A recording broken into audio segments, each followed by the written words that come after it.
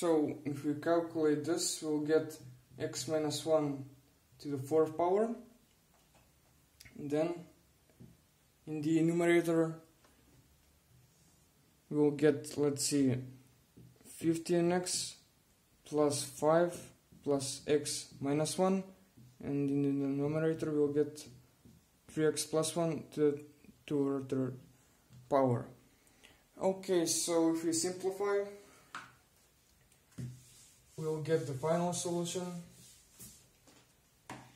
and that will be equal to x minus 1 to the fourth power times now here 15x plus x 16x 5 minus 1 will be equal to 4 and what we can do is we can take the 4 in front and we'll get 4 times in brackets 4x plus 1 Okay, so here we'll get 4 times 4x plus 1, all of that, or 3x plus 1 to the exponent 2 over 3.